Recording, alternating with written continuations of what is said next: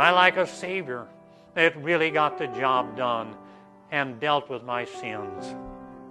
If any man sins, we've got to remember we've got an advocate. Don't worry about what you've done or haven't done. You've got to look to the Savior. You've got an advocate. We, uh, we, without him, we're in all sorts of trouble with the living God, but we, we have got uh, the best of lawyers.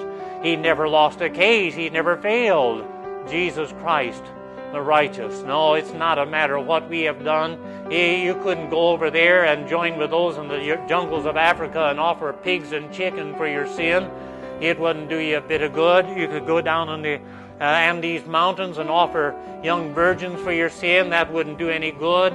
You could uh, offer rivers of oil and thousands of beasts, and that wouldn't do any good, Micah says. You could go and win a thousand souls for Christ, and that wouldn't do you any good to find favor with God, to find a reprieve from God. You, you, there is nothing, nothing. And so we got to come to Christ. Nothing in my hand I bring. Nothing, Lord, there's no hope of me ever standing before the living God on that great day, uh, apart from what you are and what you have done. Christ in Him crucified. That's the glorious gospel. It's not a thing, uh, it's not a matter of who did what, it's a matter of a person. And so we are putting our trust in Jesus Christ, that person, and what he did on the cross. Jesus Christ, the righteous. And uh, that's our confidence that we have got, yeah, we've got a real good lawyer. We have Jesus Christ, the righteous. He knew no sin, he did no sin, he had no sin. In him there was no sin.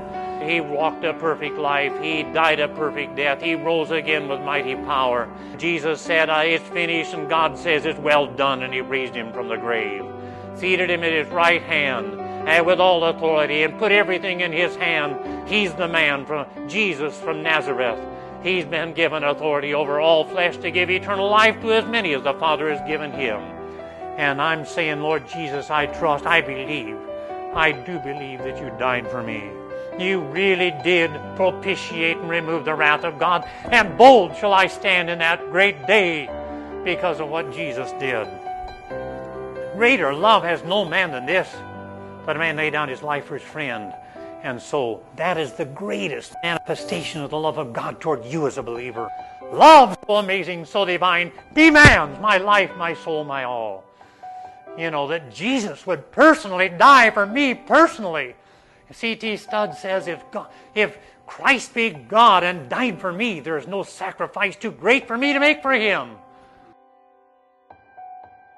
You gotta flee from the wrath to come and say, Lord Jesus, I believe. I believe you died for sinners. I believe you died for sinners just like me. I'm headed for hell. No reason you should take me to heaven. But I'm trusting that you died and really did pay that sin debt. That's the gospel. The good news is that although I am a sinner deserving of hell, I right now can stand perfect. They have favor in the sight of God. That's the good news because of what Jesus did.